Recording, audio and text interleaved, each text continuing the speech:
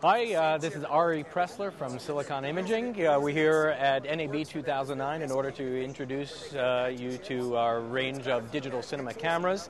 Uh, in front of me here is our SI2K uh, digital cinema camera with our integrated SI2K Mini, which is a removable head and imaging module which transmits raw 12-bit uncompressed data over gigabit Ethernet into the CPU recording system which encodes the data into Cineform RAW and uh, into either AVI or QuickTime files, which can then be placed on a timeline and instantly edited without any uh, conversions or proxies.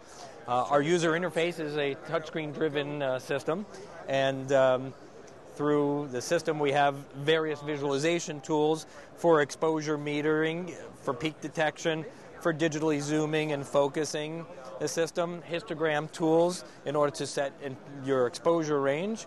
We can also fill up our entire screen view so you, you have a uh, clean view of the scene.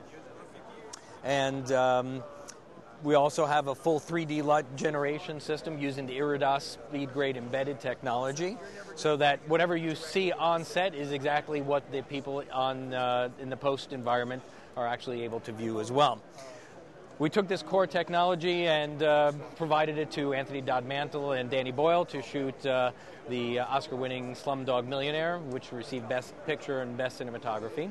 And now we're in the process of taking that and putting that into a uh, full 3D integrated package, and that's what we're introducing here at the show, which is our SI 3D system, which can be used either in parallel or in a beam splitter rig configuration.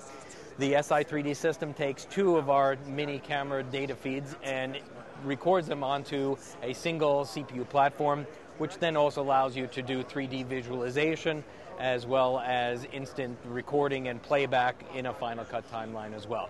So that's what uh, we have here, and uh, look forward to seeing you. Uh, you can visit us on the web at www.si-2k.com. Thank you.